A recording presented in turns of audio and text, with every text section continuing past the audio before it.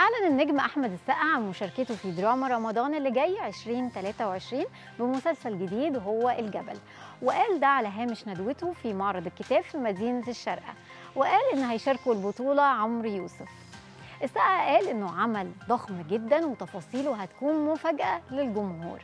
وكان آخر أعمال أحمد السقا فيلم العنكبوت اللي اتعرض في موسم العيد الصغير اللي فات وشارك في بطولته منى زكي وضافر العابدين والتأليف كان لمحمد ناير والإخراج لأحمد نادر جلال.